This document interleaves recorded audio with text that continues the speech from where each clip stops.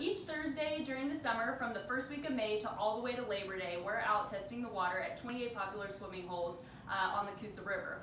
So each Thursday in here, it gets pretty crazy.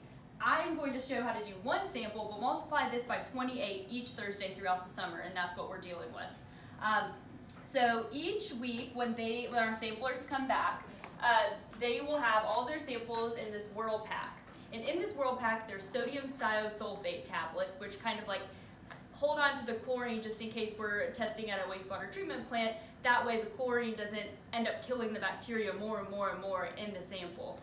Um, so they come back in these guys, and then our lab intern will pour the sample water from the cooler into a 100 milliliter uh, bottle, like so, and then pour in an enzyme.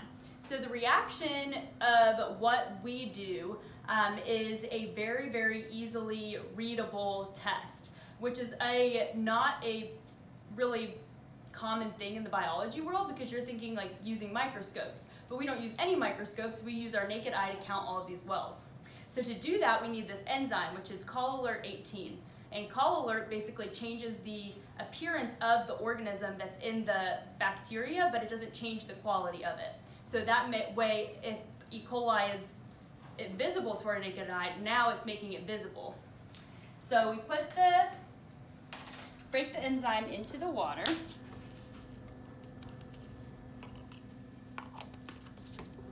And then we shake it up. And then we put it into these trays. So these are called QuantiTrays. And um, a bunch of biologists that are much smarter than I am did a bunch of serial dilutions to come up with a most probable number for the bacteria. So when we pour the sample into here and then have it sealed, it's evenly distributed throughout this tray. Mm.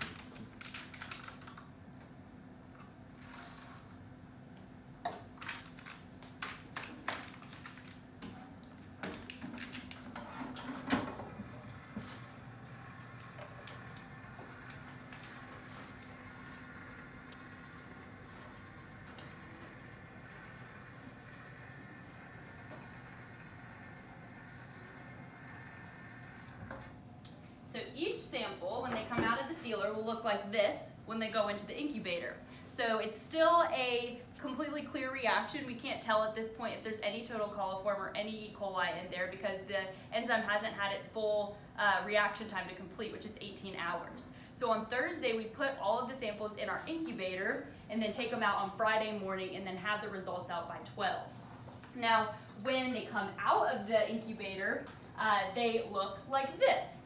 Um, so they are, they will completely change color if there's total coliform, which total coliform is kind of like the umbrella above E. coli. So you can't have E. coli without total coliform, but you can have total coliform and not have E. coli.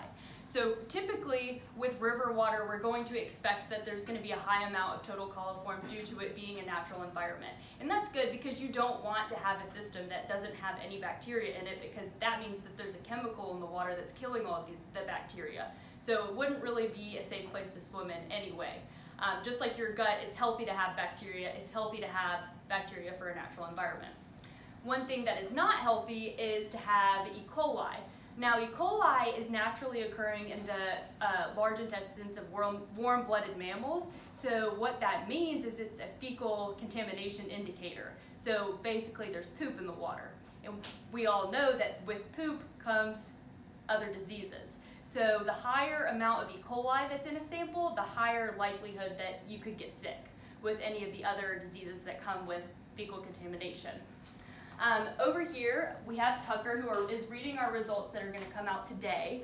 Um, and pretty interestingly, the total coliform will be yellow, but the E. coli glows. So this is a pretty cool part of the um, reaction that makes E. coli seem like the coolest that it'll ever be.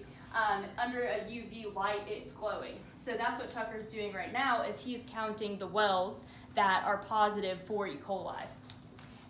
Counts those wells, um, he will use this uh, QuantiTray uh, table to determine what, how much colony forming units of bacteria is in 100 milliliters of the sample. and we use that. Uh, we use the state's data to determine whether or not that's green, safe to go swim, yellow, proceed with caution, and then red, you probably shouldn't get in the water based on how the state says what's safe or not to swim in in E. coli.